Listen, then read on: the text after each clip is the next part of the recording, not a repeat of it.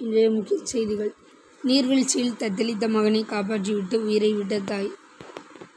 கள்ளக்குறிச்சி மாவட்டம் வடபொன்பரப்பி அருகே உள்ள லக்கிநாயகன்பட்டியைச் சேர்ந்தவர் ரமேஷ் மனைவி மாணிக்கவள்ளி. வயது முப்பது. இவரது மகன்கள் கிஷோர் வயது பதிமூணு. கிரண்குமார் வயது பன்னெண்டு. அதே ஊரில் உள்ள அரசு பள்ளியில் கிஷோர் எட்டாம் வகுப்பும் கிரண்குமார் ஆறாம் வகுப்பும் படி படித்து வருகின்றனர். கள்ளவராயன் மலையில் பெய்த மழையால் அடிவாரத்தில் உள்ள நீர்வீழ்ச்சியில் தண்ணீர் கொட்டுகிறது. நேற்று பள்ளிக்கூடம் விடுமுறை என்பதால் மாணிக்கவள்ளி தனது மகன்களுடன் நீர்வீழ்ச்சியில் குளிக்க சென்றார்.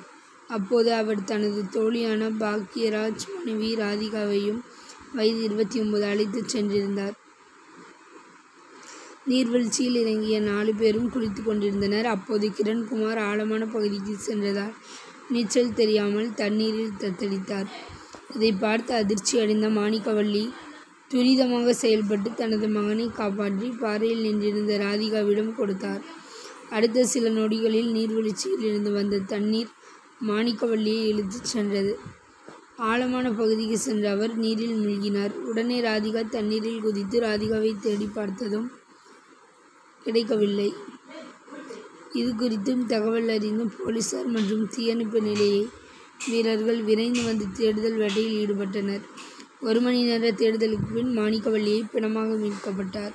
பின்னர் அவரது உடல் பிரேத பரிசோதனைக்காக கள்ளக்குறிச்சி அரசு மருத்துவக் கல்லூரி மருத்துவமனைக்கு அனுப்பி வைக்கப்பட்டது. இது குறித்து போலீசார் வழக்கு பதிவு செய்து விசாரணை நடத்தி வருகின்றனர்.